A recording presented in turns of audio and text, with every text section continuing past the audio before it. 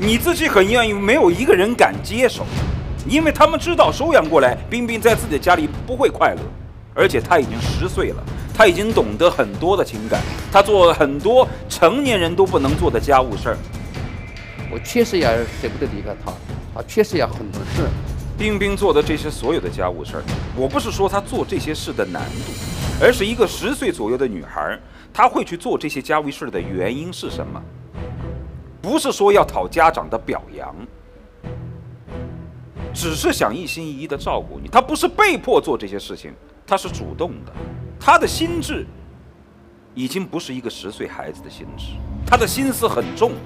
如果你要是把他跟你的之间拆散到任何一个家庭当中去，他不会快乐。我实话告诉你吧，你所希望收养他的那家人家现在已经来到了节目现场，在我们的第二现场。我刚刚之所以把这个冰冰支开，就是希望不当着他的面来谈这么残忍的事儿。我现在再就再问问你老戴，就是这一条路了。前提条件就是你跟冰冰不分开的情况之下，别的什么都好谈，你能不能答应？因为不是不是我要分开，因为是这个是是是最后的天使逼着我们分开了。待会儿我会让你自己做选择。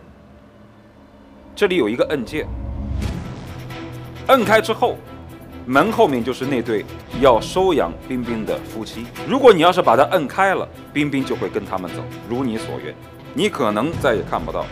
我觉得这个门就这十年前你把那个纸箱子打开的时候，那个门是一样的。十年前，你选择把那个纸箱子打开了，你选择把冰冰带入到了你的生活。今天，你可能又要面临一次选择：你把这扇门打开，又把冰冰送出自己的生活，是否把她送到另外一个家庭？